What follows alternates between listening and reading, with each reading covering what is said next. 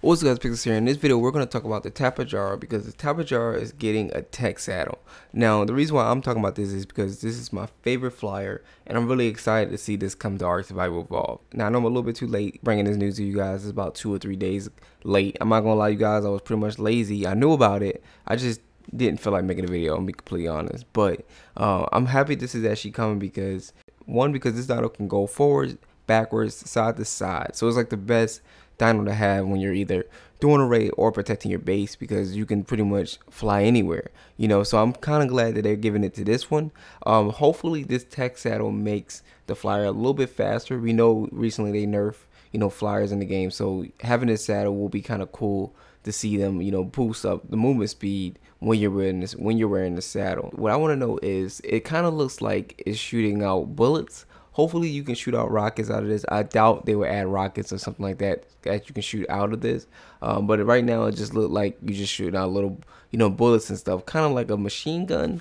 Kind of like a machine gun because how fast it's going. But I just hope that, you know, they add more stuff with this dino. Um, another thing I would like to see with this saddle is I would love to see that this, you know, this flyer can pretty much go on water. Because if you see at the bottom, it has these little circle things. It would be kind of cool to see this kind of like glide between the water. Yeah, it's not that much we can talk about this. Like I said, this is my favorite flyer, so I'm happy to see it coming to Ark Survival Evolve.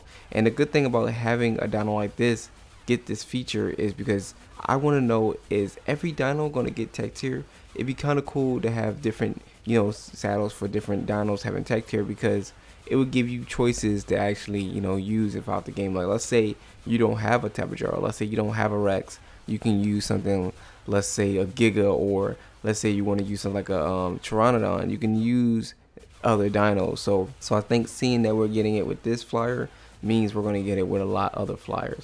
But let me know what you guys think in the comments below. That's pretty much why I made this video. Uh, what dino you guys want to see next to have Tek tier?